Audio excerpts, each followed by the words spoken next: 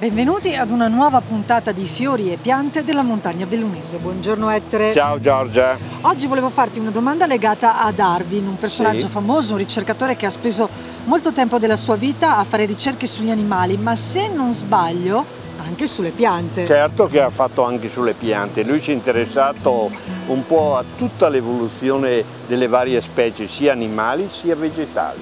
Nel suo libro più famoso, infatti, dal titolo L'origine della specie, scrive diverse sue riflessioni sulle forme vegetali che vediamo nelle immagini, e cioè il Litrum salicaria.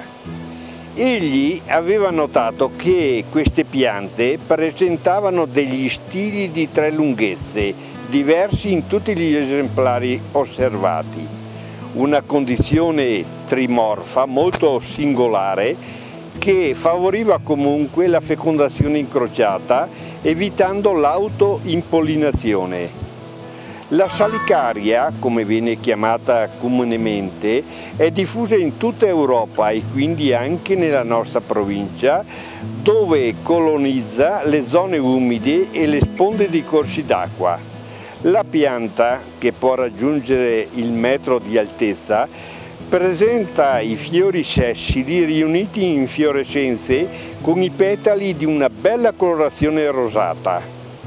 Le foglie, molto numerose, sono simili a quelle del salice, da qui il nome di salicaria dato alla specie. Quello del genere invece ci viene dal greco litron che significa sangue e allude naturalmente alla colorazione dei suoi fiori. Il frutto è una capsula ricca di semi che generalmente vengono disperse mediante l'acqua. Ettore, scusami, ma è vero che la salicaria viene usata anche per i suoi poteri officinali? Sì, questo sì, è vero, fin dall'antichità tra l'altro.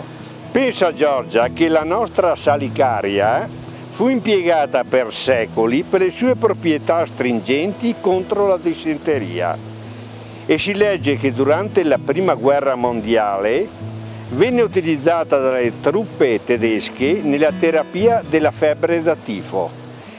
Sembra anche che nella Siberia orientale i giovani germogli venissero consumati come verdura mentre le foglie essiccate si adoperavano per realizzare bevande in sostituzione del tè.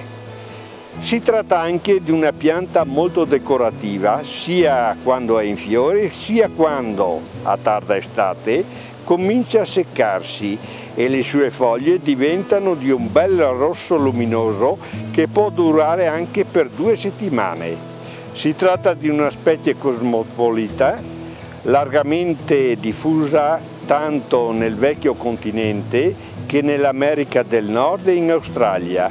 In Europa il suo areale giunge al nord fino all'Olanda e interessa tutto il territorio italiano, comprese le isole.